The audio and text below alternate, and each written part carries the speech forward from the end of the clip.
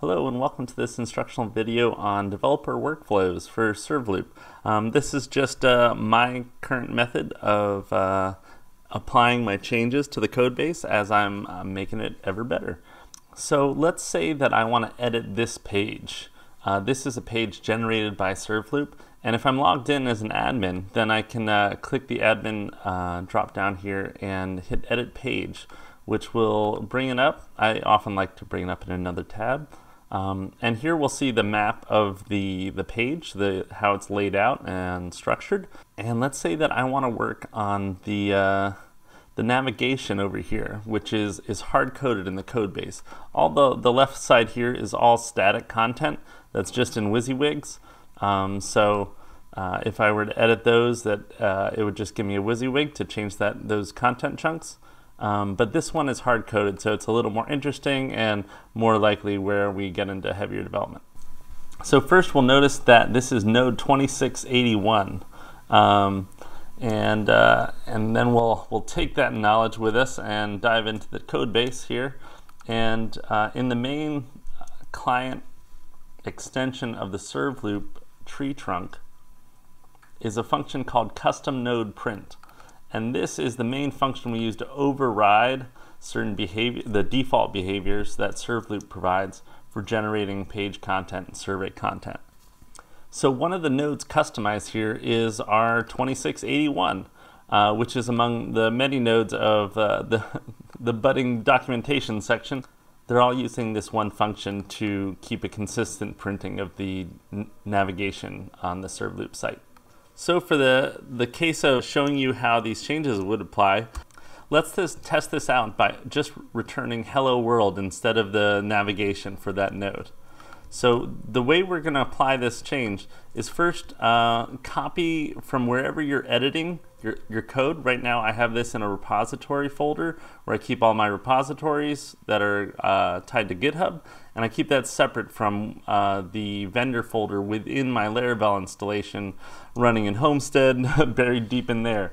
So part of my process is copying over uh, the folders from my working directory to the virtual server directories. For that, I use a, a shell script um, to copy from the survloop src folder, and in this case, the client uh, uh, package is survloop org. That src folder, I copy all those over. So basically, anytime I make any changes in my code base to apply them, I want to copy them from where my changes happened into the active vendor folder. And with that, if we reload this, it's got uh, refresh equals one on top of it. If you put that on any page, it will skip the caching process to be sure we're getting the freshest read of the tree's specifications. So we're gonna run that and hopefully this over here should swap out with our temporary hello world. There we go. So you can see that worked without doing anything else. Uh, that's because we only change the controllers and, and uh, there's only one copy of the controllers in the code base uh, and it's a little less complicated. So now let's check out print documentation nav, the function that's actually going to be printing things out. And it's going to call the view inc documentation navigation and it's going to return that. So it's passing in our map of the navigation and it's passing in the current page, which is loaded in the tree trunk of the SurvLoop engine. So if we open up the, uh, the view inc documentation navigation, just so you know, this is in the views folder uh, within the survloop org package. If we open up the view inc documentation navigation, we'll see mostly HTML with a little bit of logic um, that is part of Blade templates. You can look at more, more at Laravel documentation on learning Blade templating. So let's pretend we want to make a change to this page. Let's change this title to Hello World and keep the rest of the nav menu this time instead of substituting the whole thing out. So I'm going to repeat what I did last time, just copying over the contents. Uh, this is copying over the controllers and the views, but the views haven't been propagated to other folders in the Laravel framework. So we're seeing the previous view uh, without our new changes applied. Um, but what we'll want to do whenever we edit views or models, then we're going to want to run an extra step. At this point, I, I often run this even when I don't have to, just to be extra certain that uh, my code base is all up to date. Um, but we're going to run the artisan vendor publish script. This is copying a lot of files to a lot of different spots. Um, and, and even if you're just editing a few, uh, you'll you're often going to want to run this. All right, so once we've run that, we refresh this page again with the question mark refresh equals one on top, and we've got our hello world swapped out at the top.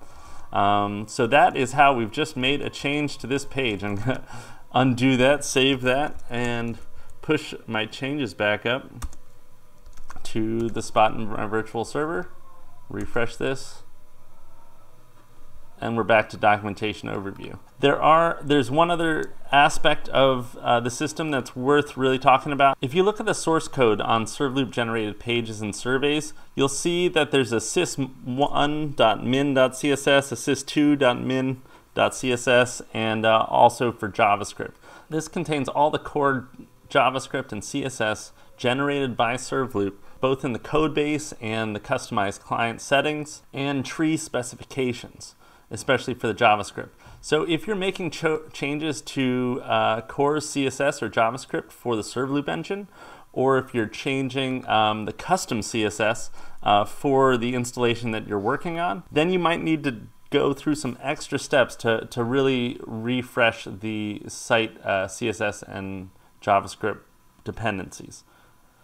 One way to do that is to directly load CSS reload and that will just uh, respond with a little smiley face if it worked and uh, then uh, you'll know that at least you've got uh, some CSS files in place. This happens automatically in the background anytime you uh, do refresh equals one on the system settings page. That refreshes a bunch of things, uh, but it includes the CSS.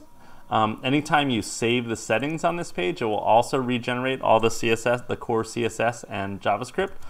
But if you've just imported a bunch of new trees or big changes to the uh, database, then you might want to run refresh all caches, which will call refresh equals 2, which will then methodically go through all the trees in the database and reload the JavaScript, which maps their layouts, uh, which are then fed into the core JavaScript. So that's a good thing to do a hard refresh uh, if something's weird. Finally, um, once you've updated those uh, core JavaScript and CSS files, you'll probably want to force your browser to uh, reload the uh, sys2.min.css and .javascript.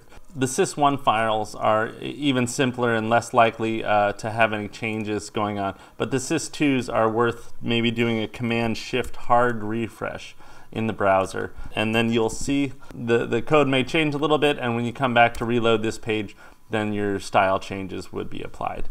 Um, that's the that's the final complicated workflow for now. Uh, please give me feedback on if there's any suggestions you have on my workflow, and I hope to be providing more documentation soon. Thanks so much.